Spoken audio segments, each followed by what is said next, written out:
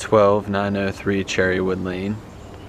Uh, the people actually like just pulled up and went in the property, so they uh, just went in the property. It's actually like elderly people. It's like uh, older people. It's the house with the red thing in the driveway. I'm gonna get closer.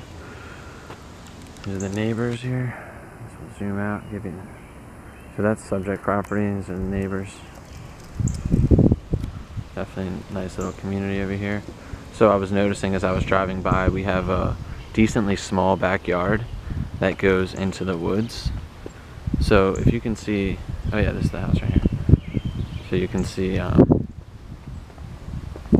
roof and windows look good, but very, very small.